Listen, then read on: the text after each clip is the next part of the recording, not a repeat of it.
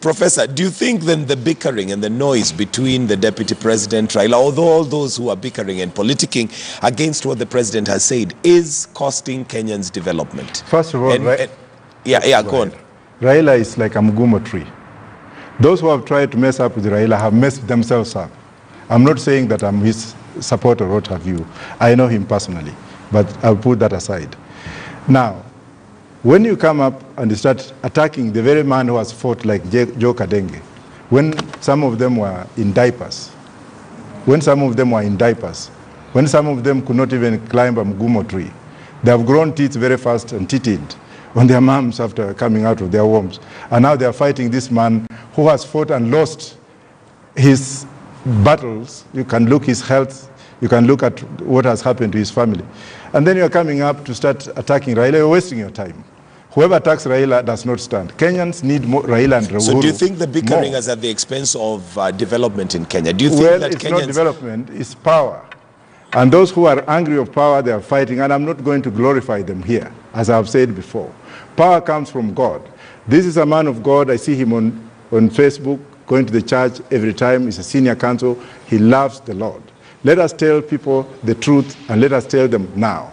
If, and I'm, and if, I mean, if you come here to start saying this and that, it will not help. Look at Moses Kuria, for example. Who doesn't know Moses Kuria?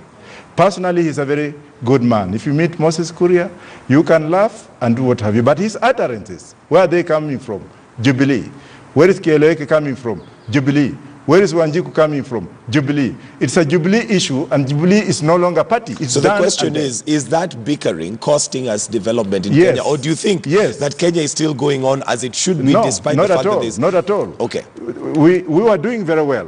When Kinoti and Haji came up, Mm. and I'm sure God forbid me from what I'm going to say, when they took over investigations and things seemed to have gone the way they were going, who brought that down?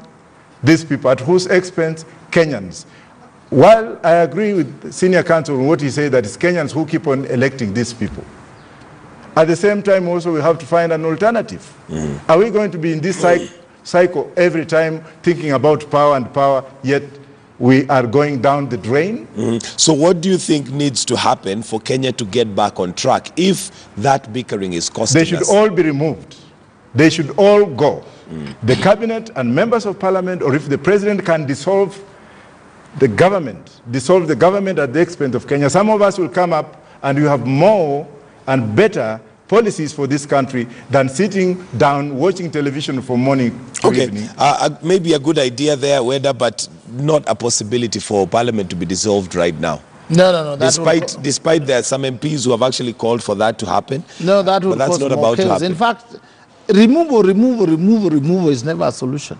It's like sack, sack, sack. Look at never IEBC. We've never solved it. We, we keep on removing, removing, and then they, you bring in new people before their roots, like his party. Before you take root below to bear fruits above, mm. you must have time. God created things that you plant and then you let them grow, you give them time. I think there are areas that the president and the deputy, remembering their promise to Kenyans, should come together and take us to where they promised us. They promised us affordable, quality health care. They didn't promise us handshake or kieleweke or tanga tanga.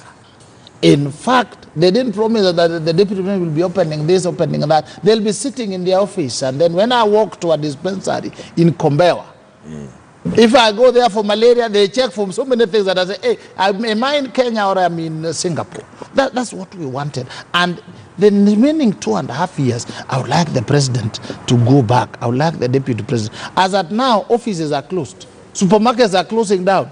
People hardly have anything. The currency we have is being challenged in court. So what do we call ours? I used to say about the, the, what you are praising, the fight against corruption. I said that they were doing so much hulabaloo, but very little uh, Action. work, action. So eventually they take people to court for Wanjiku to be happy. Little evidence. What happens when you go to court? There's a problem. We said if you want to take somebody to court, get proper evidence. So I think as at now, Jukumu is on the president and the deputy. And they better know that the four agenda items, at least let them run away with the two. Food, it is easy. And healthcare. and health. It is easy. And when they do that, then you'll not be saying, oh, Joe Kadenge died like this, oh, so and so did not have health care. That's what can bring you to poverty. And then what can bring you to death is lack of food. Let them do those two. And then uh, 2022, when the deputy president comes, he says, we have finished with these two. I want to go and finish these other two.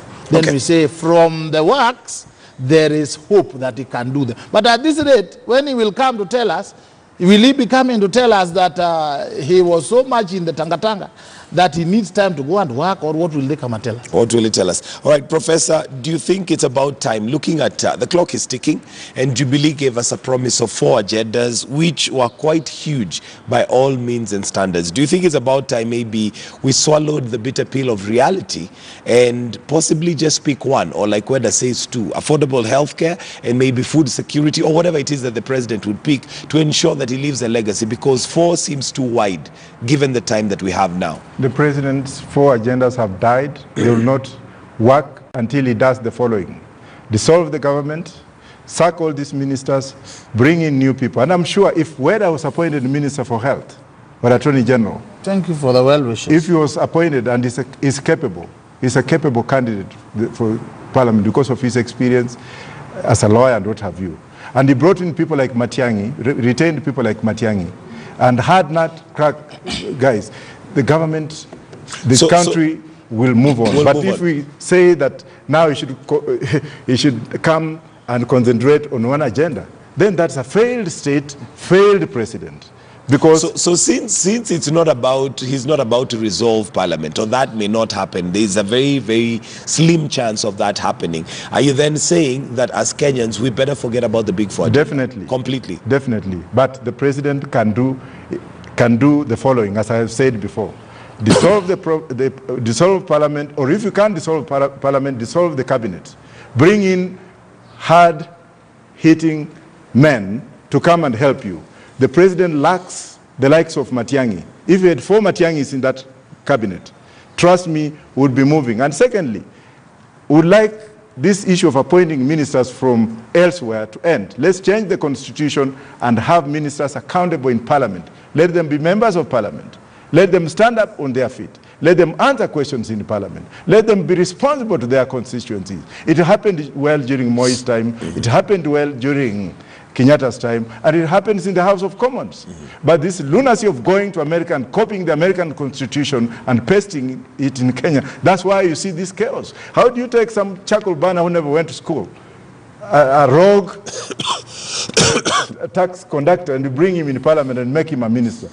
What kind of chaos are you doing? You have seen what has happened recently. We don't want this kind of thing to happen. Whether that's a professor's solution that dissolve parliament and takes take, send these guys home for us to be able to move back on track as Kenya. What's your thoughts on the solution? Uh, what does the president need to do? Because at the end of the day, I think have the said the with him. president now the time is uh, nigh. So the president needs to narrow down. It's not about dissolving parliament. It's not about creating chaos because to settle takes very long. He needs to narrow down on two agenda items. If that is too much, let him narrow down on food security. Let, let, let the country be food sufficient in a long, sustainable manner. On top, let him start the process of uh, quality, affordable healthcare.